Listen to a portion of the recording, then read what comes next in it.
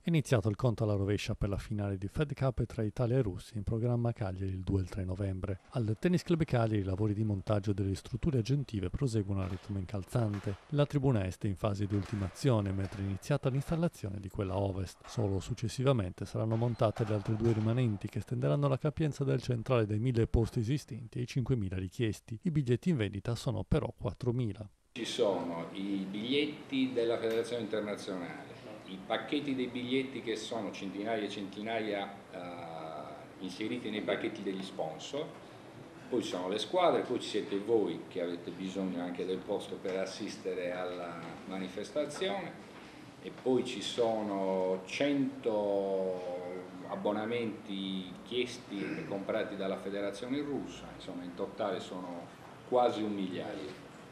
Poi ne abbiamo ancora bloccati 120 per la commissione di vigilanza, perché se tutto va bene sblocchiamo anche quelli. Venderemo solo ed esclusivamente abbonamenti e contiamo di non aprire i botteghini, nel senso che chi arriverà il giorno alla manifestazione senza biglietto non troverà manco il posto dove poterlo acquistare. Ne abbiamo venduto circa 3.800 in questo periodo, ne mancano poco più di 200 eh, mancano ancora 20 giorni, quindi è ragionevole pensare che andiamo verso tutto esaurito. Le prime tre gare del campionato di Serie 1, le squadre del TC Cagliari giocheranno al Forte Village di Pula. Sarebbe infatti difficile da gestire il pubblico insieme ad un cantiere così importante.